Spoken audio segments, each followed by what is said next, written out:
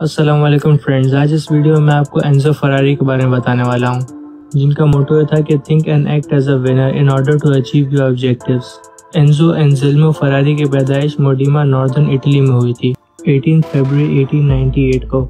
उस वक्त स्नोफॉल होने की वजह से उनके पेरेंट्स को दो दिन तक इंतज़ार करना पड़ा एनजो फरारी के बर्थ को रिकॉर्ड करवाने के लिए। उनकी मॉम एडल गिजा एक वेल्दी फैमिली से थी और उनके फादर एल्फ्रेडो फरारी की एक मैकेनिक वर्कशॉप थी, जिसमें उनके थर्टी एम्प्लॉयज़ थे और उसी के साथ साथ वो मेटल भी प्रोवाइड करते थे नेशनल रेलवेज को। एंजो फरारी के एक बड़े भाई भी थे, जिनका नाम था एल्फ्रेडो फरारी जूनियर जिनका निकनेम था डीनो एंजो के कुछ पैशंस भी थे, जिसमें से पहला था स्पोर्ट्स जर्नलिज्म नौ साल की उम्र में एंजो ने अपना आर्टिकल पब्लिश करवाया था इटली के सबसे बड़े नेशनल स्पोर्ट्स न्यूज़पेपर में।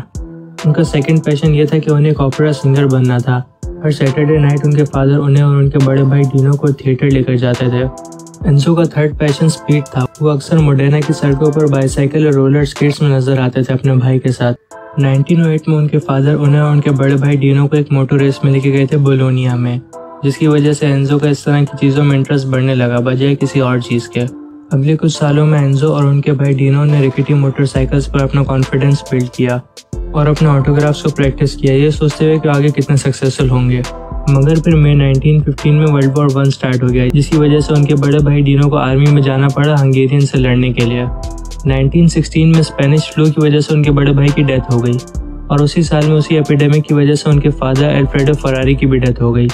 कुछ ही महीनों के अंदर अंदर एंजो फरारी ने अपने बड़े भाई और अपने फादर को खो दिया था और उनका फैमिली बिज़नेस भी कोलैप्स हो गया था, जिसकी वजह से उन्हें अपनी स्कूल को छोड़ना पड़ा और काम करना पड़ा। जिससे वो अपने और अपनी मदर के एक्सपेंसेस पूरे कर सकें। एंजो एक इंस्ट्रक्टर की जॉब कर रहे थे एक मेंटल स्कूल में। आगे जाके एंजो जब 18 साल के हुए तो उन्हें third regiment of alpine artillery में काम करना पड़ा। वहाँ पर उनका काम सोफिस्टिकेटेड मशीनरी को मेंटेन करना था, जिससे अल्पाइन ट्रूप्स आर्टिलरी पीसेस को माउंटेन्स और ग्लेशियर्स पर लेके जाते थे। और वो सोफिस्टिकेटेड मशीनरी और कुछ नहीं, बल्कि डोंकीज और म्यूल्स होते थे। यानी उन्हें डोंकीज और म्यूल्स के शूज़ को चेंज करना था या रिपेयर करना था, जब भी वो ख़राब हो जाए।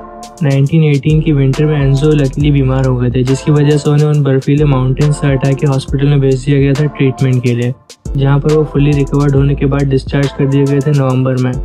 उसके बाद एनजो ट्यूरिन चले गए जॉब की तलाश में। उन्होंने फीएट नाम की कंपनी में अप्लाई किया था एज अ ट्रस्ट ड्राइवर और मैकेनिक लेकिन उन्हें उस कंपनी में जॉब नहीं मिली, बल्कि उन्हें एक छोटी कंपनी में जॉब मिल गई जिसका नाम था सी एम एन ईयर 1919 की शुरुआत में वो एक टेस्ट ड्राइवर ही थी, लेकिन उसके थोड़े टाइम बाद उन्हें एक रेस ड्राइवर बना दिया गया। और उन्होंने यहाँ से अपना सफ़र शुरू किया प्रोफेशनल कार रेसिंग का।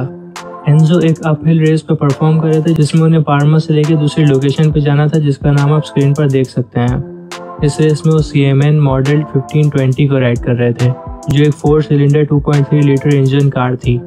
इस रेस में उनकी पोजीशन फोर्थ आई, जो एक बिगिनर के हिसाब से बहुत ज़्यादा अच्छी है, लेकिन उन्हें यह पता था कि वो और अच्छा परफॉर्म कर सकते हैं।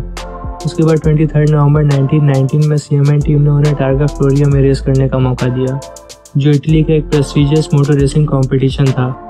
ये रेस एंजो के लिए कुछ ज़्यादा अच्छी नहीं थी, क्योंकि इस रेस में फ्यूल टैंक में कुछ प्रॉब्लम आ गई थी, जिसकी वजह से एनजो को 40 मिनट्स का नुकसान हुआ। उसके बाद एनजो ने सोटा फ्रेशिनी को छोड़ दिया और उन्हें अल्फ़ा रोमियो ने हायर कर लिया, जो उस वक्त की बहुत बड़ी कंपनी थी। और अगला टारगा फ्लोरिया जो नवंबर 1920 में हुआ एनजो उसमें अल्फ़ा 4060 ड्राइव कर रहे थे, जिसमें सिक्स लीटर इंजन लगा हुआ था। और इस रेस में इनकी पोजीशन सेकंड आई। और इसी की वजह से अल्फ़ा रोमियो और एंजो फरारी की अच्छी कोलेबोरेशन की शुरुआत हुई, जिनमें से एक रेसिंग इंडस्ट्री का प्रेजेंट था और एक रेसिंग इंडस्ट्री का फ्यूचर था।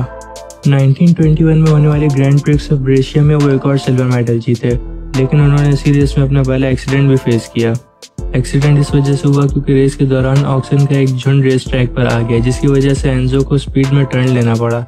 और इसी की वजह से उनकी गाड़ी स्किड हो गई और एक हॉल्ट में जाके टकरा गई। लेकिन फिर भी उन्होंने रेस को कंटिन्यू किया और सिल्वर मेडल जीत गए। 1923 में उन्होंने एक और विक्ट्री जीती द सिटी ऑफ़ रवीना में, जो उनके होम टाउन से बहुत ज़्यादा दूर नहीं थी। उसी रेस में उन्हें अपने दो वीआईपी फैंस से मिलने का मौका मिला काउंट एनरिक बेरैक और पॉलिना बेरैक एनरिको बराका उनकी वाइफ पोलिना बराका ने अपने सन को खोया था वर्ल्ड वॉर वन में। उनके सन कैप्टन फ्रांसिस्को बराका एक सर्टिफाइड फ्लायर थे। जिन्होंने वर्ल्ड वॉर वन में 34 एनिमी प्लेन्स को मार गिराया था। उनके बेटे फ्रांसिस्को बराका के प्लेन पे एक एम्बलम था, जो सिंबल था स्पीड का।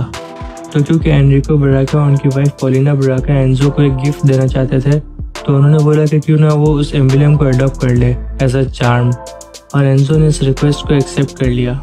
और उसी के बाद से एनजो की हर कार पर यह एम्बलम पेंट होने लगा, जो एक तरह से उन्हें रिप्रेजेंट करने लगा।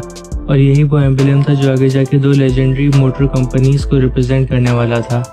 वो दो लेजेंडरी कंपनीज़ फरारी और पोर्स थी, और वो एम्बलम एक ब्लैक हॉर्स उस एम्बलम की वजह से एनजो को एक लकी चार्म तो मिला, क्योंकि 1924 में वो एक और कंपटीशन जीते जिसका नाम था कोपा एसर्बो जिसकी वजह से इटली के प्राइम मिनिस्टर का उन पर ध्यान गया जिनका नाम था बेनीटो मसलिनी उसी साल में एंजो फरारी को उनसे मिलने का मौका मिला, जब प्राइम मिनिस्टर मोडिना में एक सेनेटर से मिलने आए थे और फरारी भी वहाँ पर मौजूद थे। और उसी दिन प्राइम मिनिस्टर ने उन्हें अपनी लेमो चलाने की पेशकश की। फरारी ने उस रिक्वेस्ट को एक्सेप्ट किया, लेकिन प्राइम मिनिस्टर की ये डिमांड थी कि वो उनकी गाड़ी को स्लो और ध्यान से चलाएँगे। फरारी ने सोचा कि वो एक बेहतरीन ड्राइवर होने का सबूत देंगे और वो कोई भी गड़बड़ नहीं करेंगे। उस ड्राइव के अंदर उन्होंने कोई भी गड़बड़ नहीं की, लेकिन उन्होंने ड्राइविंग कुछ इस तरह से की थी कि उन्होंने तकरीबन सारे पैसेंजर्स को मार ही दिया था। तो अगर आपको एनजो फरारी के ऊपर ये वीडियो पसंद आए तो आप इस वीडियो को लाइक कर सकते हैं और ऐसी वीडियोस के लिए मेरे चैनल को सब्सक्राइब कर सकते हैं। बेल के आइकन को दबाएँगे तो आपको आने वाली वीडियोज़ की नोटिफिकेशन मिल जाएँगी। और हाँ आखिर तक देखने का बहुत बहुत शुक्रिया।